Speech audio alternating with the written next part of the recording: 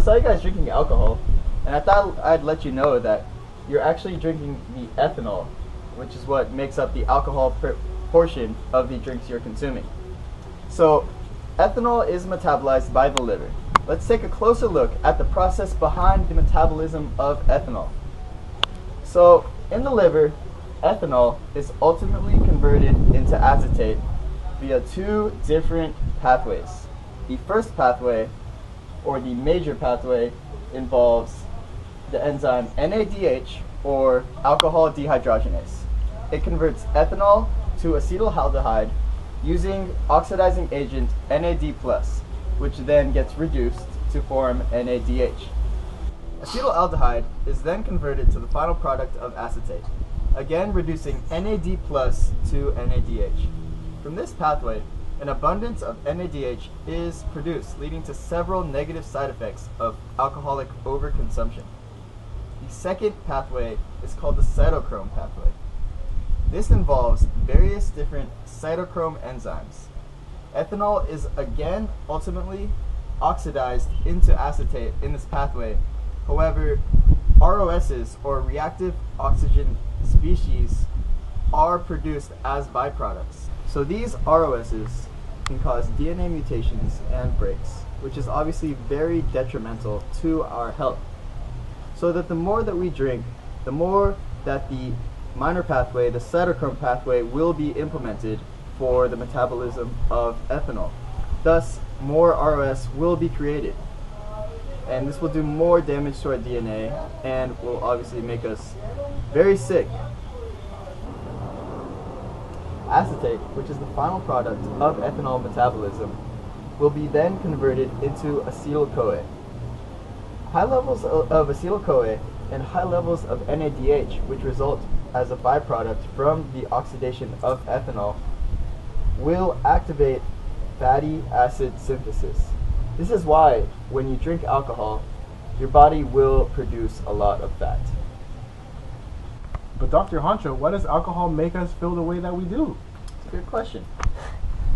Well, that's a whole thing in itself. I'd like to explain. Thank you. Cells need glucose and insulin to function properly. Glucose comes from the food you eat, and insulin is produced by the pancreas. When you drink alcohol, your pancreas may stop producing insulin for a short time, and instead, it, uh, your body secretes glucagon. Without insulin, your cells won't be able to use the glucose you consume for energy. To get the energy you need, your body will start to burn fat. When your body burns fat for energy, byproducts known as ketone bodies are produced. If your body is not producing insulin, ketone bodies will begin to build up in the bloodstream. This buildup of ketones can produce a life-threatening condition known as ketoacidosis. Ketoacidosis, or metabolic acidosis, occurs when you ingest something that is metabolized or turned into acid. This condition has a number of causes, including a delay and decrease in insulin secretion and excess and excess glucagon secretion, induced by starvation. Another cause is an elevated ratio of NADH to NAD+, as you can see here. Symptoms of ketoacidosis include throwing up for more than two hours, breath that smells sweet, kind of like fruit, and then feelings of tiredness, confusion, and another symptom is also having a hard time breathing. So, to answer your question, how does alcohol make us, make us feel the way that we do? I'll tell you. Acetaldehyde and other byproducts are partially responsible for hangover. Acetaldehyde is right there. Neurons rely on receptor proteins embedded in the cell membrane to help them respond to conditions in the body. Receptors have one or more molecules that cause them to become activated.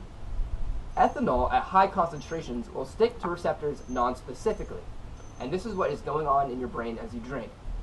The receptors that handle a neurotransmitter called GABA are strongly activated by ethanol, by ethanol molecules sticking to them.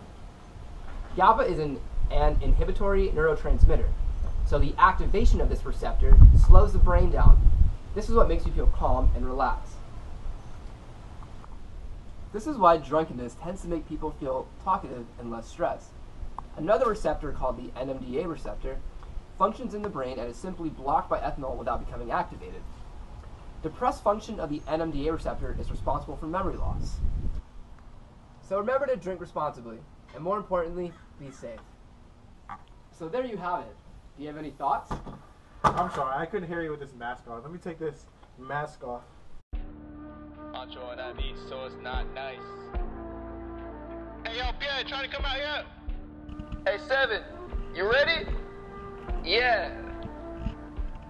Let's get it. Alcohol, alcohol metabolism, alcohol, alcohol metabolism, alcohol, alcohol metabolism, ethanol, made by other organisms, acetate, ethanol to acetate, acetate, ethanol to acetate, acetate, ethanol to acetate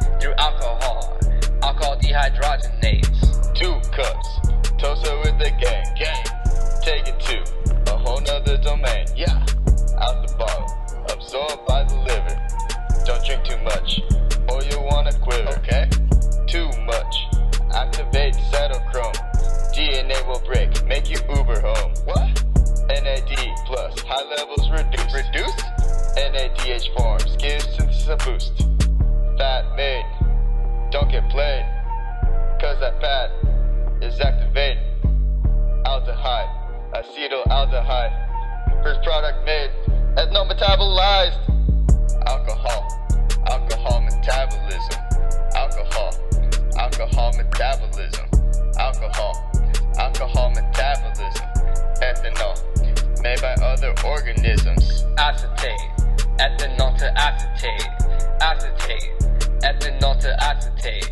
Acetate, ethanol to acetate through alcohol.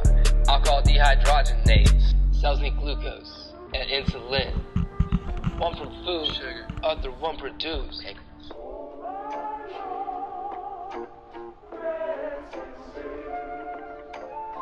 My guillotine, too much Jimmy Beam. We need energy, so we go to those extremes. Acidosis produces ketone bodies built up in the bloodstream. You don't want this. Glucagon, leading to starvation. Acetaldehyde, toxic and can make you die. Glutamate, never takes a break. Headache, receptors on the membrane. Activate, GABA activated. We call the play. We don't drink all day. 105, writing 105. Our class, best class. So what? So I fill up my glass. Alcohol metabolism. Alcohol, alcohol metabolism. Ethanol, made by other organisms. Acetate,